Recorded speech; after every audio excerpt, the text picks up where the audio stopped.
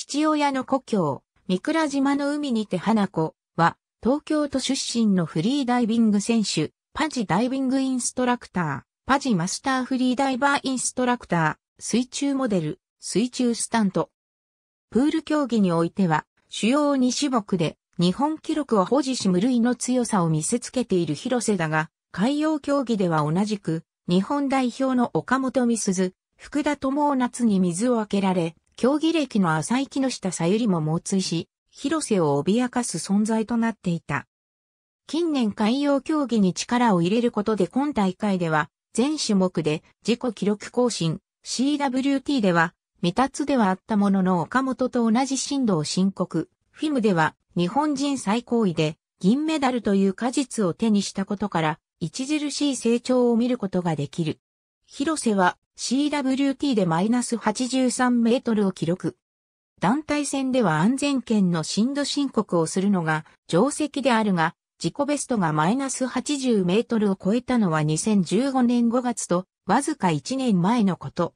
今年5月にマイナス99メートルを記録した広瀬にとってマイナス83メートルはもはや確実な数字であり、揺るぎない実力の向上が伺える。STA は日本記録保持者として安定の6分10秒でポイントを稼いだ。圧巻は DNY での日本記録197メートルである。2010年以降日本記録を更新し続けてきた中、7月の愛田世界選手権において石田都がこれまでの広瀬の記録を2メートル上回る191メートルをマーク6年間守り続けてきたレコードホルダーの座を明け渡したばかりであった。180メートル台を記録する選手が国内でも増加する中、わずか2ヶ月でまた頭一つ抜きんでた存在となった。2月に STA、5月に CWT、そして9月に DNY、2016年だけで主要な日本記録をすべて塗り替えたことになる。